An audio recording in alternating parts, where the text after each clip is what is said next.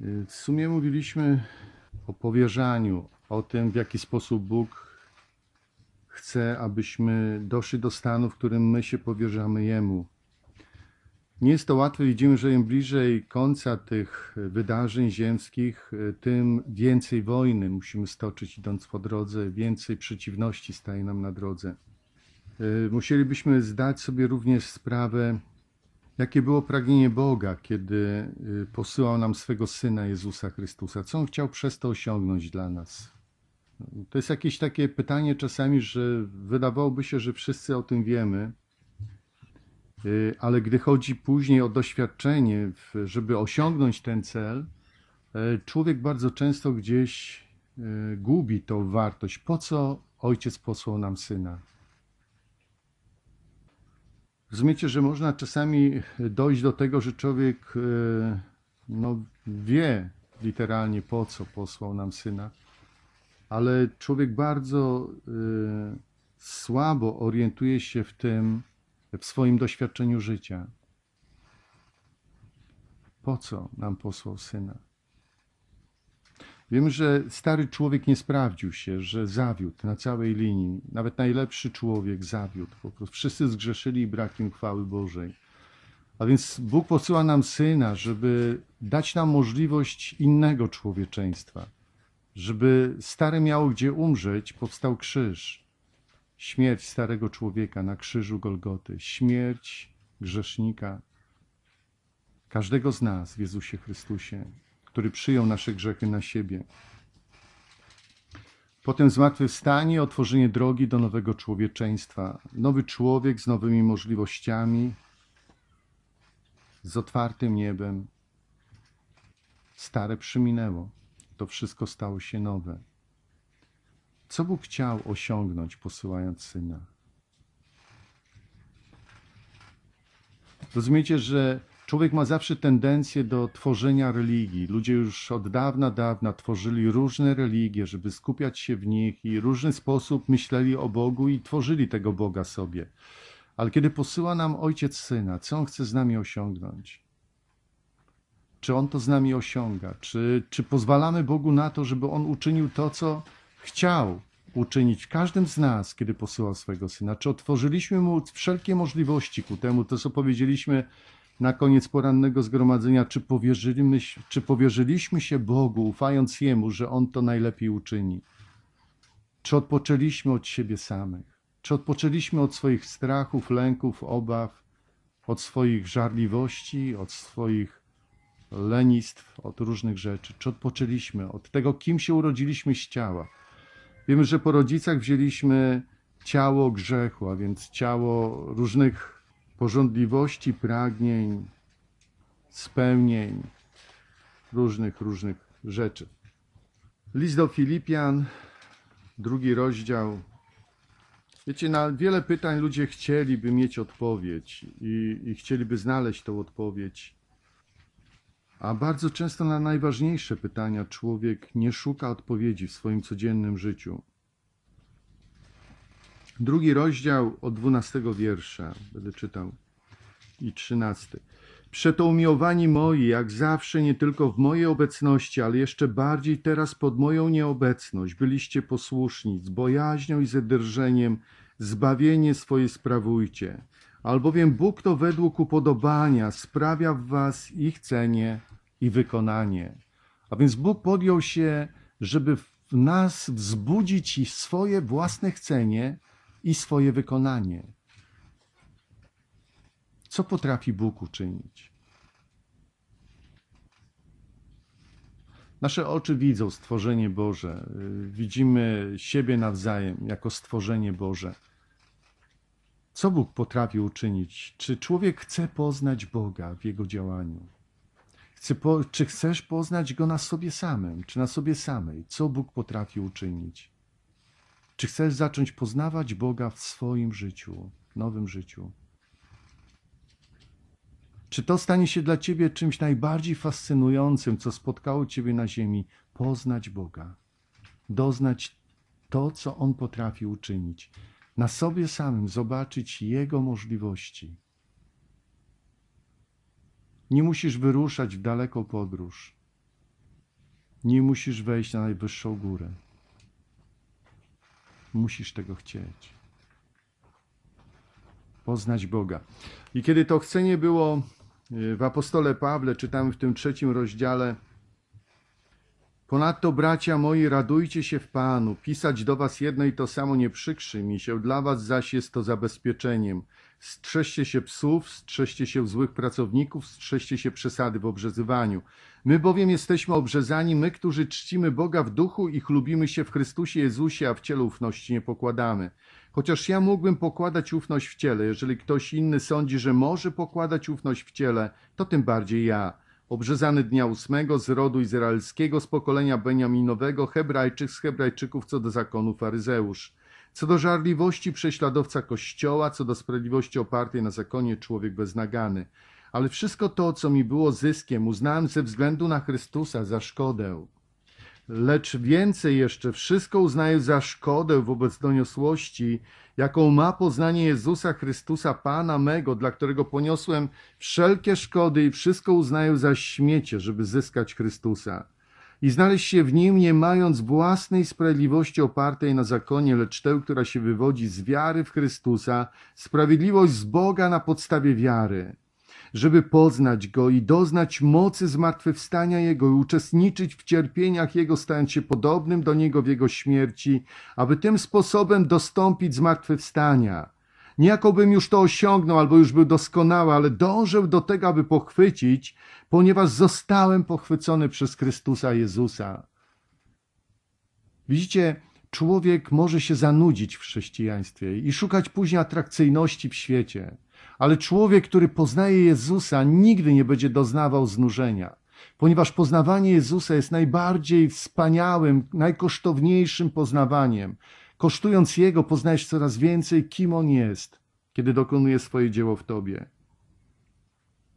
Widzicie, nasze ciało jest mdłe i uczniowie spali, kiedy Jezus walczył. Ludzie potrafią spać nawet wtedy, kiedy ktoś walczy o ich wieczność, ponieważ e, myślą sobie, że no cóż pozostaje, jak zasnąć i, i wtedy. Ale Pan mówi, nie zaśnij, tylko odpocznij.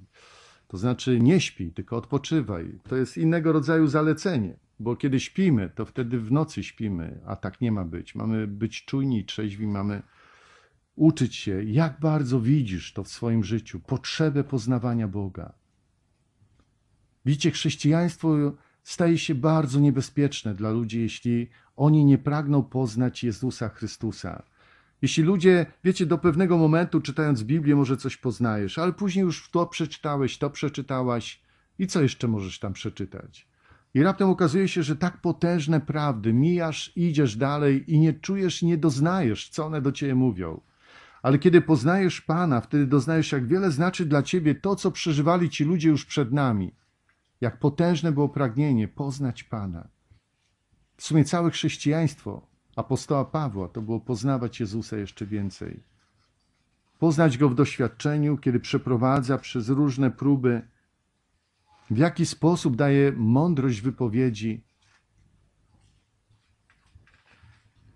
jak pozwala docierać do ludzi, jak otwiera serca. Bracia, ja o sobie samym nie myślę, że pochwyciłem, ale jednocześnie zapominając o tym, co za mną i zdążając do tego, co przede mną, Zmierzam do celu, do nagrody w górze, do której zostałem powołany przez Boga w Chrystusie Jezusie. Ilu nas wtedy jest doskonałych, wszyscy tak myślmy. Jeśli o czymś inaczej myślicie, i to wam Bóg objawi. Tylko trwajmy w tym, co już osiągnęliśmy. Bądźcie naśladowcami moimi bracia i patrzcie na tych, którzy postępują według wzoru, jaki w nas macie. Wiecie, kiedy człowiek się nawraca, bardzo często jest tak, że kiedy otwierają się te drzwi wiary i człowiek zaczyna patrzeć i podziwiać i doznawać odpowiedzi tego Chrystusa, którego nie widzi, człowiek jest zafascynowany, opowiada ludziom, mówi, wiesz, normalnie ten Chrystus żyje. Ja myślałem, że po prostu to jest bajka, a on żyje, ponieważ on odpowiada, on działa. Ale po jakimś czasie człowiek się coraz bardziej układa, układa i zasypia duchowo w chrześcijaństwie. Już ten Jezus nie jest fascynujący, już człowiek mówi, to wiem, to czytałem, co jeszcze nowego, chyba już więcej się nie dowiem. To już y, z tym miałem już do czynienia, z tym miałem do czynienia. I później widzisz, jak to chrześcijaństwo robi się takie byle jakie. Powodem jest tylko to, że człowiek przestał potrzebować poznawać Pana.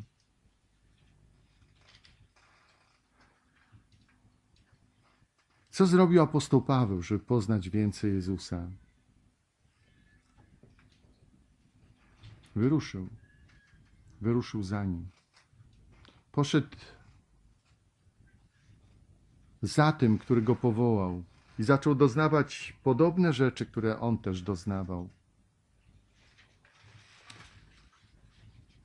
Księga Ród.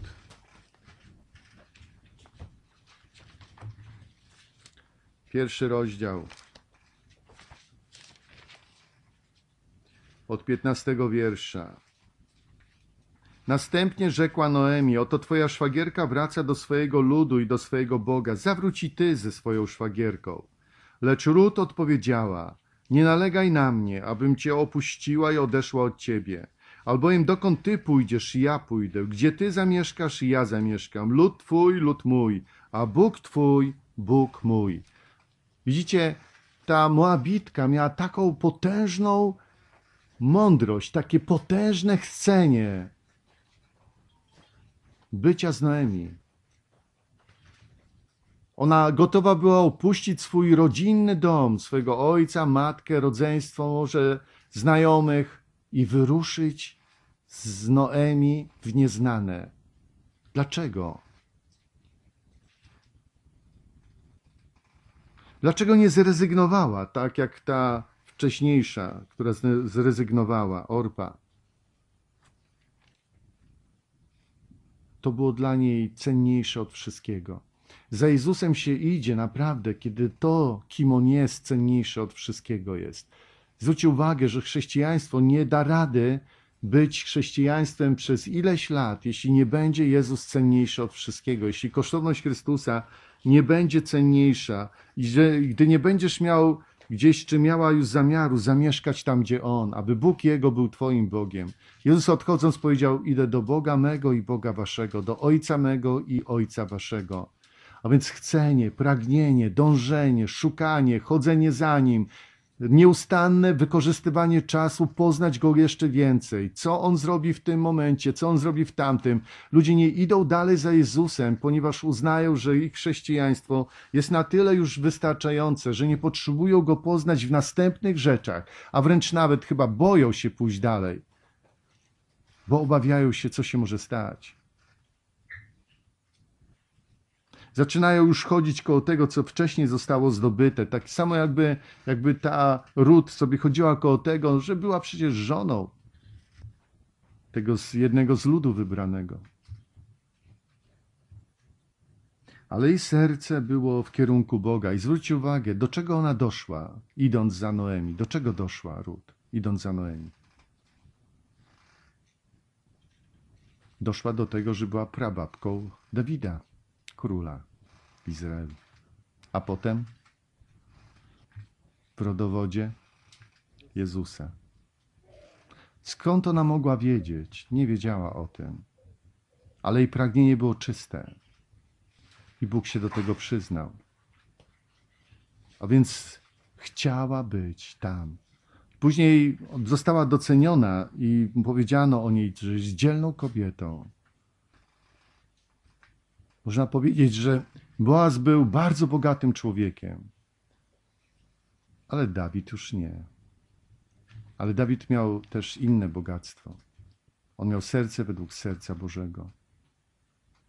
To było bogactwo Dawida. Był bardzo bogaty, potrafił wiele znieść, wiele przebaczyć. Poznając Boga w doświadczeniach, na które napotkał, nabywał coraz więcej świadomości, jak potężny jest ten, który się nim zajął. Druga kronik, 31 rozdział.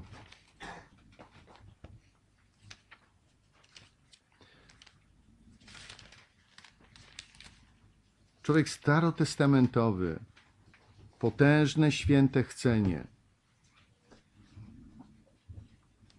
20 i 21 wiersz. Tak to urządził Hiskiasz w całej Judzie. Czynił on to, co dobre i prawe i sprawiedliwe przed Panem, Jego Bogiem. W każde dzieło, którego się podjął, czy to w służbie dla świątyni Bożej, czy też zakonu i przykazań, aby szukano swego Boga, wkładał całe swoje serce, to też szczęściło mu się. Był to człowiek, który cokolwiek czynił w sprawie Bożej, Wkładał całe serce. To nie było tylko, żeby coś zrobić. On chciał to zrobić jak najlepiej. Dla swego Boga chciał to zrobić jak najlepiej. To chcenie nie przyszło tak sobie, to chcenie jest od Boga. A więc on miał chcenie, które powodowało, że jego pragnieniem było zrobić to jak najlepiej, bo Bóg jest godny, żeby mu złożyć to, co najcenniejsze, nie to, co pospolite, nie to, co zbywa.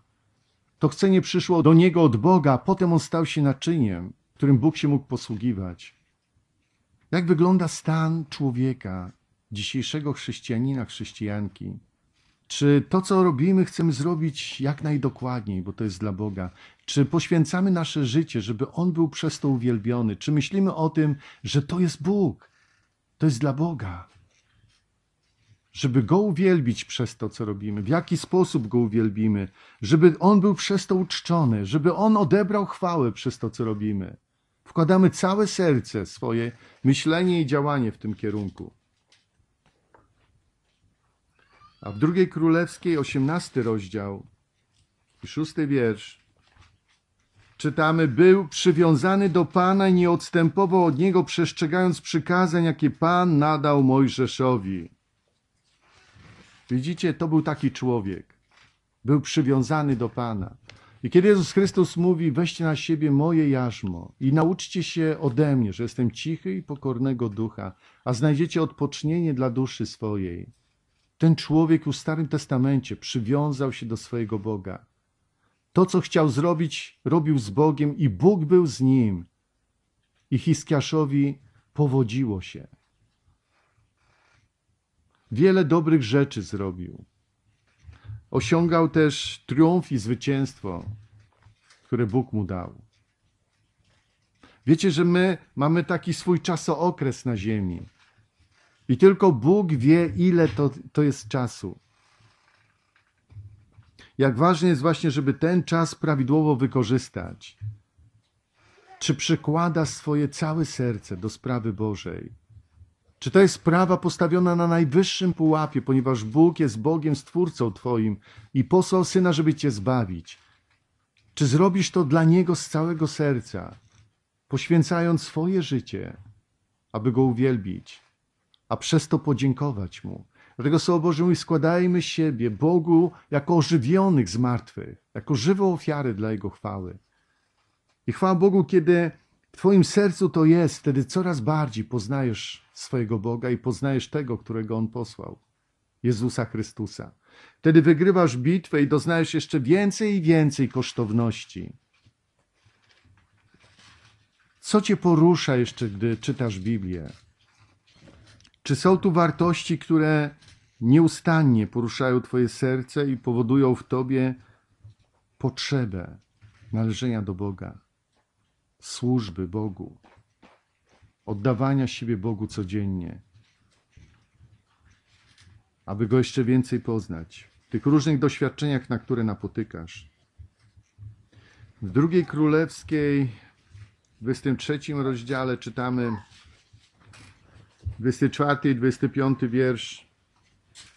Jozjasz usunął też wróżbitów i czarodziejów i bożki domowe i bałwany i wszystkie obrzydliwości, jakie pojawiły się w ziemi judzkiej w Jeruzalemie, aby przywrócić ważność słowom zakonu zapisanym w księdze, którą znalazł kapłan Hilkiasz w świątyni Pana. I nie było przed nim takiego króla jak on, który by tak wrócił do Pana z całego swego serca i z całej swojej duszy i ze wszystkich sił swoich ściśle według zakonu mojżeszowego. Po nim też już nie wystąpił taki jak on. Wszystkie pokolenia czytają o tym. Zostało to zapisane w księdze, którą czytają wszystkie pokolenia, i wszystkie pokolenia dowiedziały się, że ten człowiek przywiązał się do Boga swojego i z całego serca czynił to, co się Bogu podoba.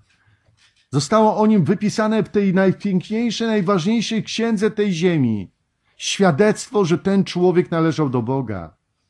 Ale jest jeszcze ważniejsza księga księga życia. Jeśli Twoje imię jest tam zapisane, jesteś po, po stronie wieczności, ale to imię świadczy, że żyjesz i potrzeba poznawania Pana Jezusa Chrystusa w Tobie jest niezmiennie stała. Żywi ludzie chcą poznawać Pana Jezusa. Ci, którzy obumierają, Coraz mniej, coraz mniej, coraz mniej. Chciej poznawać Pana.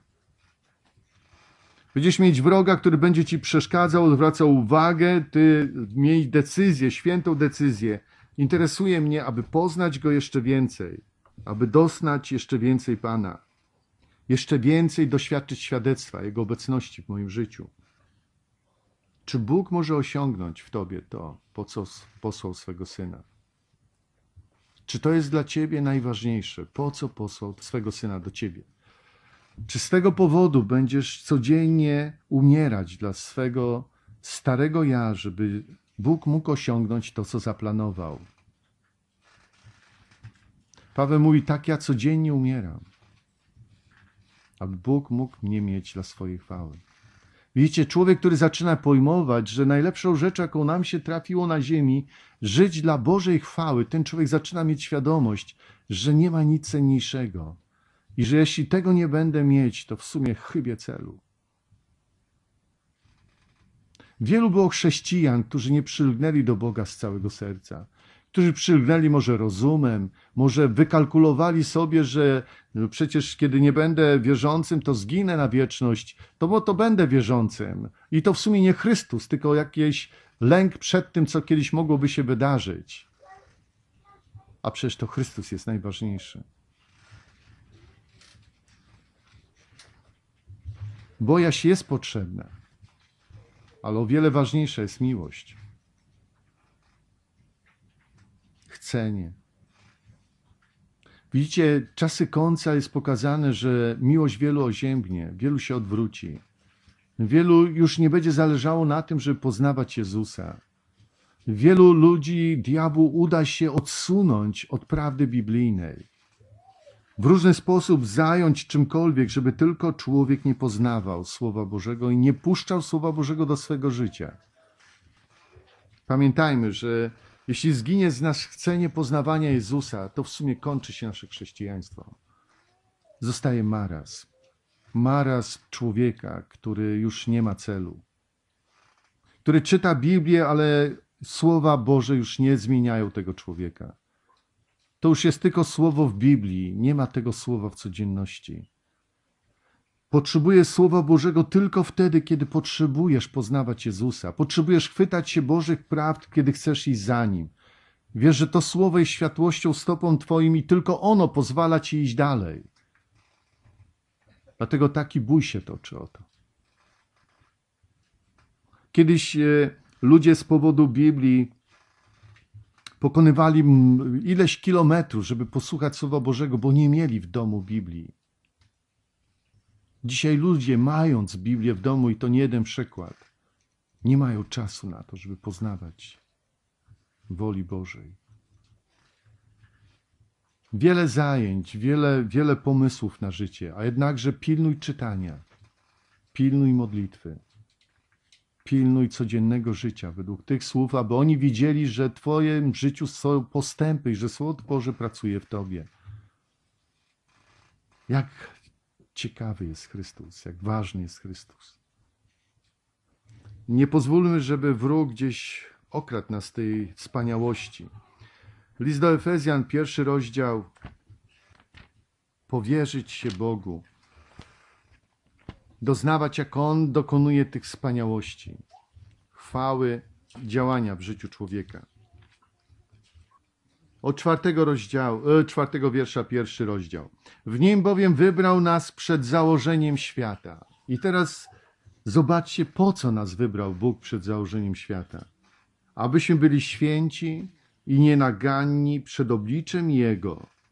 Po to sobie nas wybrał, byśmy byli święci, tak jak On jest święty nienaganni przed obliczem Jego. Po to posłał nam Syna.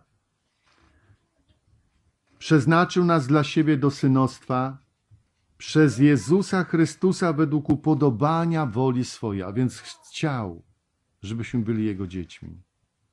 Ojciec w niebie, Bóg Wszechmogący, chciał, abyśmy byli Jego dziećmi, świętymi dziećmi. Czyż nie wspaniały pomysł? Z takimi jak my ludźmi, uwolnić nas od bycia dziećmi diabła i sprawi, żebyśmy byli Jego dziećmi. Czyż nie wspaniały plan? I to jest właśnie to, kiedy człowiek zaczyna w to wierzyć, mówi: Boże, to jest przepiękne. Chcę Cię poznać. Ty, który takie rzeczy wobec mnie mogłeś pomyśleć, wobec mnie, człowieka żyjącego w takiej deprawacji, mogłeś pomyśleć, żeby ze mnie zrobić swoje dziecko i to święte. Boże, Twój zamysł jest przewspaniały, najspanialszy. Boże, jestem zachwycony Twoim planem. To jest piękne. Ty potrafisz. Wszystko, co stworzyłeś, pokazuje Twoją moc i możliwości, Boże. I to jest wiara, która zaczyna dziękować Bogu za to, co On chce ze mną zrobić. Chcę więcej Ciebie, Boże, w swoim życiu, byś Ty uczynił to, co planujesz, żeby ze mnie zrobić kogoś takiego. Boże, czyń swoje dzieło. I nie ustawaj nigdy, Panie. Ani nie zostawię Cię, ani Cię nie puszczę. Pójdę za Tobą wszędzie. Gdzie Twój duch mnie poprowadzi, pójdę ja. Gdzie Ty mieszkasz, ja będę mieszkać. To jest piękne. Stać się częścią Twego ludu.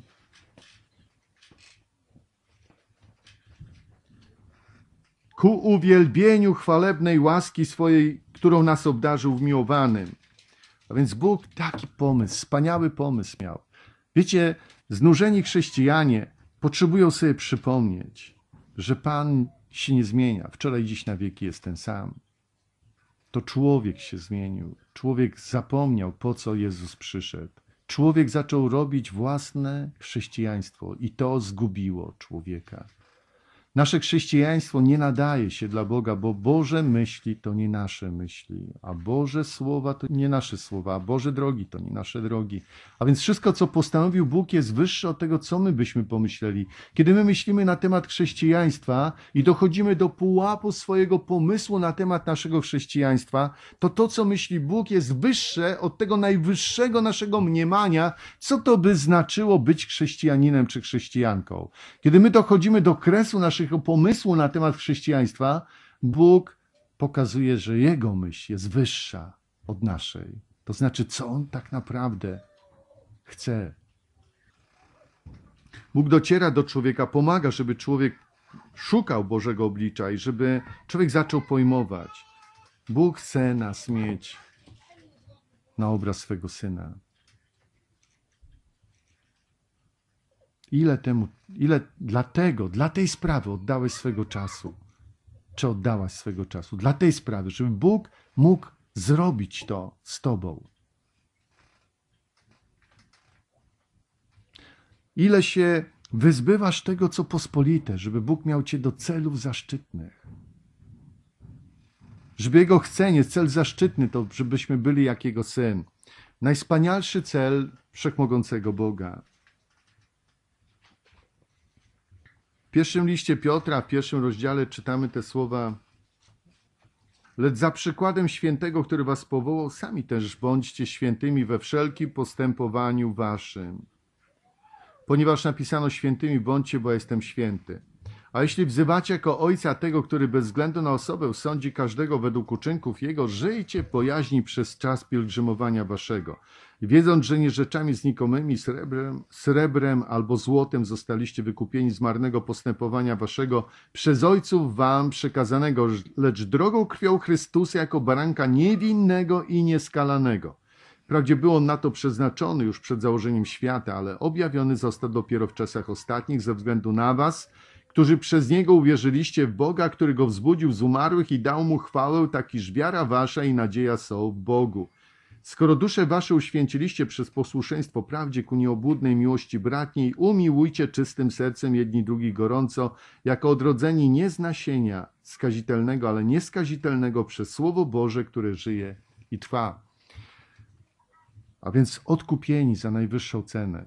I kiedy byśmy sobie tak pomyśleli, no, że jacyś tam y, bracia zrobili ten y, dodatkowy kiosk zewnętrzny do korzystania.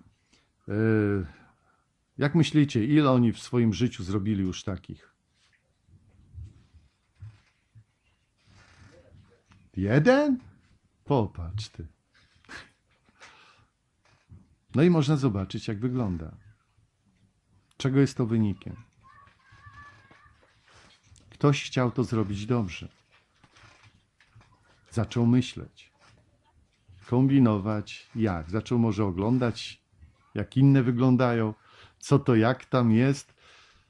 I potem zaczął człowiek, myśląc o tym, chcieć to zrobić w ten sposób, żeby było dobre. Iluś myślało, a może tego, a może z tamtego, i mamy efekt. Chcenie i wykonanie. Jeśli ktoś chce naprawdę bardzo dobrze, tak jak Bogu się to podoba, wtedy potrzebuję Jego wykonania też. Tego, żeby On mówił do mnie, docierał do mnie, poruszał serce moje. Jak doznajesz, jak, jak Ci jest dobrze z tym Bogiem. Jak porusza się Twoje serce do Niego, jak potrzebujesz Jego. To wszystko jest olbrzymia walka. Im bliżej końca jesteśmy dziejów tej ziemi, diabeł będzie szalał coraz bardziej, żeby zatrzymać ludzi w poznawaniu Jezusa. Miejcie to swoją religię. Spotykajcie się, śpiewajcie i żyjcie bezbożnie. Chrystus przyniósł nam święte nowe życie, a diabeł chce, żeby człowiek pozostał w sferze religii. Chrystus przyszedł po to, żebyśmy umarli grzechom i żyli dla sprawiedliwości, a diabeł chce, żebyśmy byli religijnymi ludźmi i uważali, że my Bogu sprawiamy najwyższą przyjemność, że w ogóle wierzymy w Niego. Jakbyśmy mu okazywali jakąś łaskę z tego powodu, cokolwiek. A przecież to On okazał nam łaskę. Będziemy to nieustannie powtarzać, bo człowiekowi się czasami wydaje, że, że to człowiek wyświadcza łaskę Bogu, że będzie do Niego należeć, że coś powie na Jego temat. Że już Bóg będzie całe niebo poruszał z zadowolenia, że jakiś człowiek na ziemi coś tam dla mnie chciał zrobić. To Bóg czyni to wszystko we mnie i przeze mnie, w Tobie i przez Ciebie dla własnej chwały. I wtedy jest to prawidłowe. Jezus mówi, beze mnie nic dobrego nie uczynicie. Więc Jezus pracujący w nas czyni to piękno. Zobaczcie, że dzisiaj człowiek e, z powodu coraz mniejszej wiary nie potrafi tego zobaczyć i coraz mniej ludzi sięga w kosztowność poznawania Jezusa. A jednakże, gdy masz tą wiarę i sięgasz, to pilnuj tego, bo to jest skarb. Więcej poznać Pana, więcej go doświadczyć. Widzicie, nawet ludzie w świecie mówią, że jak młody człowiek uwierzy w Boga, to szkoda tego życia, bo ludzie w świecie uznają, że uwierzenie w Boga to strata życia, że przestaniesz korzystać z uciech tego świata, a więc stracisz życie. Ludzie tak myślą w świecie, ludzie bezbożni tak sobie myślą, że wiara w Boga i należenie do Niego to stracenie życia. Możesz, możesz to stracić na starość, kiedy już nic nie umiesz i nie możesz zrobić w sprawach grzechu. Więc ludzie uważają, że do Boga się przychodzi na starość. I uważają za nie, niepełnosprawnych umysłowo tych, którzy przychodzą do Boga wcześniej. Tracą, tracić takie coś. A jednakże my wiemy, że ci ludzie, którzy przychodzą do Boga, nie tracą, ale zyskują. I poznawanie Jezusa Chrystusa staje się najcenniejszym, co może być. Uwolnienie od tych związań z tym światem ciemności daje podstawy do wdzięcznego zadowolenia. List do Galacjan, drugi rozdział. Drugi rozdział i dwudziesty wiersz. Apostoł Paweł mówi w ten sposób. Z Chrystusem jestem ukrzyżowany, żyję więc już nie ja, ale żyje we mnie Chrystus. A obecne życie moje w ciele jest życiem wierze Syna Bożego, który mnie umiłował i wydał samego siebie za mnie. Nie odrzucam łaski Bożej, bo jeśli przez zakon jest wtedy Chrystus dar, darem nie umarł. Zobaczcie, co jest dla tego człowieka takim szczęściem, takim zadowoleniem. Zobaczcie, do jakiego pułapu on zadowolenia dochodzi. Nie żyję już ja, ale żyje we mnie Chrystus. To jest najwyższe szczęście, jakie spotkało mnie na tej ziemi. Kiedy ty dochodzisz do tego pułapu, wtedy tak samo jak on zaczynasz doświadczać, że poznawanie Chrystusa to jest największy skarb, jaki cię spotkał na ziemi, a doznawanie Jego życia w sobie jest najcenniejszym doznawaniem tego, co poznajesz. Doznawanie, jak w tobie żyje Jezus, jest najwyższym poznawaniem woli Ojca. Jak Jezus żyje przez ciebie jakie ma myśli przez Ciebie, jakie czyny przez Ciebie Jezus ma. To jest najwspanialsze poznawanie Jezusa Chrystusa.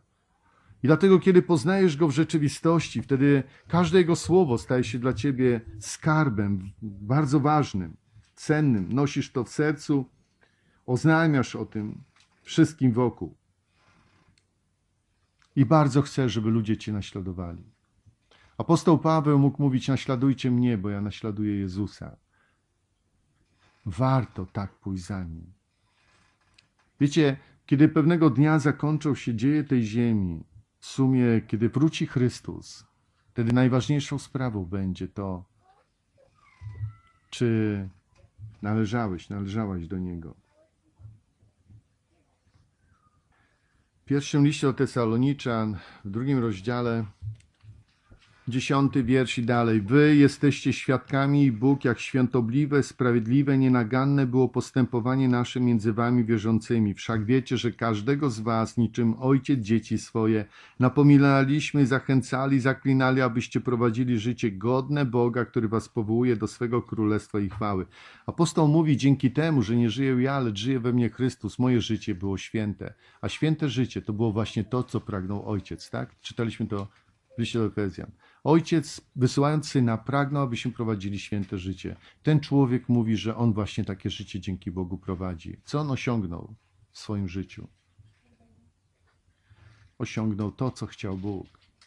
Czy to nie jest najpiękniejsze? Kiedy ty coś, coś chcesz zrobić, kiedy się czujesz usatysfakcjonowany czy zadowolona, kiedy osiągniesz to, co chcesz. Bóg ma zadowolenie, kiedy może nas by mieć dla swojej chwały. A więc niech sprawia nam to najwyższą przyjemność każdego dnia, że Bóg chce pracować nad nami dla swojej chwały, żeby nas zdobywać dla siebie, aby nas prowadzić e, dalej. W liście do Filipian w drugim rozdziale od 19 wiersza czytamy takie słowa a mam nadzieję w Panu Jezusie, że rychło poślę do was Tymoteusza, aby mi ja się ucieszył, dowiedziawszy się, co się z wami dzieje. Albowiem nie mam drugiego takiego, który by tak szczerze troszczył się o was, bo wszyscy inni szukają swego, a nie tego, co jest Chrystusa Jezusa. Wszak wiecie, że On jest wypróbowany, gdyż jak dzieci o Ojcu, tak On ze mną służył Ewangelii. Zobaczcie, jaki zysk miał ten człowiek, Tymoteusz taki, że doszedł do stanu, w którym szukał tego, co jest Chrystusowe, a nie tego, co ludzkie. Piękne, piękne powiem wam. Kiedy człowiek dochodzi do takiego stanu, że jego serce tęskni za Jezusem więcej niż za wszystkim innym, to jest najpiękniejsze, do czego doszedł człowiek tu na ziemi. Ci królowie, którzy zamiast chodzić koło skarbów i, i cieszyć się tymi zyskami, oni chodzili koło Boga i szukali, jak z Bogiem być. Widzimy, ile Dawid przygotował na budowę świątyni. Mógł sobie rozkoszować się, mógł używać wielu uciek, mając tyle skarbów. On to wszystko przygotował dla Boga, żeby jego świątynia mogła powstać. Jego serce było dla Boga i przy Bogu, jego życie było skupione na Bogu. Jak wygląda nasze życie? Jeśli odpuścimy sobie Boga, nasze życie skupi się na cielesności i stracimy wieczność. Nie ma nic cenniejszego dla człowieka, jak poznawać Jezusa Chrystusa na ziemi. Jak doznać, jak On cię wpuszcza przez siebie, przez swoje ciało do tych duchowych wartości nieba i zaczynasz poznawać więcej i więcej z kosztowności Chrystusa. Ci ludzie, którzy oddali się najgłębiej Bożym sprawom, są najlepszymi, najwspanialszymi ludźmi na tej ziemi. Największą, można powiedzieć, tą, tą klarowną, uwidocznioną chwałą Chrystusa ten sposób żył Chrystus i dla nich stało się najwyższą wartością, aby być podobnymi do Niego i to ich tylko pociągało, nic więcej. Oni gotowi byli stracić swoje życie, bo ono nie miało sensu, jeżeli tam nie byłoby Chrystusa. Oni poczytywali sobie, że to, w czym świat ma uciechę, to dla nich jest straceniem czasu, ale w czym ma uciechę Kościół należący do Chrystusa, to jest radością i zadowoleniem. I kiedy spotykamy jeszcze takiego jednego człowieka, w liście o Kolosan 4:12 e, Pozdrawia was Epafras, który pochodzi spośród was, sługa Chrystusa, Jezusa, który nieustannie toczy za was bój w modlitwach, abyście byli doskonali i trwali we wszystkim, co jest wolą Bożą. Człowiek oddał się czemu? Wołaniem za innymi ludźmi, żeby co oni z nimi było? Żeby byli doskonali, bo takich, tak chce Bóg, żeby oni byli. Ten człowiek oddał się sprawie Bożej, bo Boże chcenie było, żeby ludzie byli doskonali w Chrystusie. A więc ten człowiek oddał swoje życie dla chcenia Boga. I to był jego zysk, to był jego skarb. To życie nie było zmarnowane. To jest właśnie chcenie i wykonanie od Boga. Ludzie by powiedzieli, co ten człowiek stracił życie. On nie stracił. On żył chwale Boga. On żył w tym, co Bogu było miłe. Żyjmy w tym, co jest Bogu miłe. Korzystajmy z tego każdego dnia. Nie dajmy się doprowadzać do stanu, w którym myślimy sobie o chrześcijaństwie w sumie to co to jest. Pomodlić się wieczorem, może rano, pomyśleć trochę o Bogu i całe chrześcijaństwo? Czy to jest poznawanie Jezusa? Poznawanie Zbawiciela. Później będziemy mówić jeszcze głębiej w tych sprawach, ale chodziło mi o to, żebyśmy zobaczyli to Boże chcenie jeszcze raz, kolejny raz, bo kolejny raz je widzimy, czytając Biblię czy modląc się. Napotykamy na działającego Ducha Świętego, który mówi nam o tym, co Bogu się podoba. Nieraz nasze własne usta zaczynają wypowiadać słowa, które chwytają nasze serce i mówimy, Boże, miej mnie dla swojej chwały i sami doświadczamy, że mówimy coś, co bardzo potrzebujemy. I zależy nam na tym. Jesteśmy szczęśliwi, że takie słowa mogliśmy wypowiedzieć własnymi ustami i nasze serce było w tej sprawie, że Bóg poruszył nasze serce do tego, co jest bliskie Jemu. Dlatego też korzystajmy z tego czasu, aby to chcenie jeszcze bardziej w nas z wykonaniem się spotykało. Żebyśmy jeszcze więcej poznali Pana. Więcej, dużo więcej.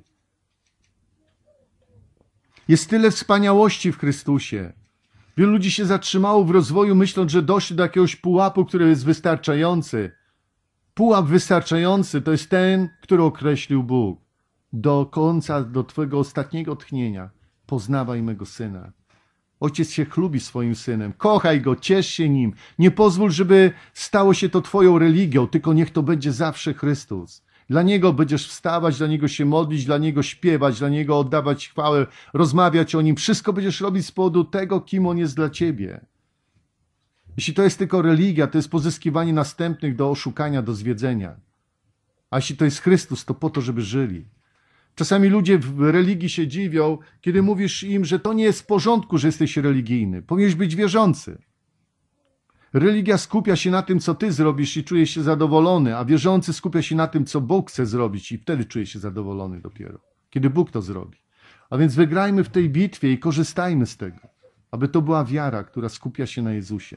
Niech przez wiarę On mieszka w sercach naszych. Zawsze więcej poznać Jezusa. I powiem wam, że każdy Boży człowiek, który żyje z Bogiem ileś lat, ten człowiek ma tyle świadectw, doświadczeń chodzenia z Bogiem. Te świadectwa są wynikiem należenia do Chrystusa Jezusa. Czy chcesz mieć następne świadectwa? Czy chcesz mieć w ogóle świadectwa? Na sobie samym, czy sobie samej ślady świadectwa działania Boga w Twoim życiu. Niech Pan będzie z nami, niech wspaniałe Boże chcenie będzie w Tobie i we mnie każdego dnia i wykonanie każdego dnia.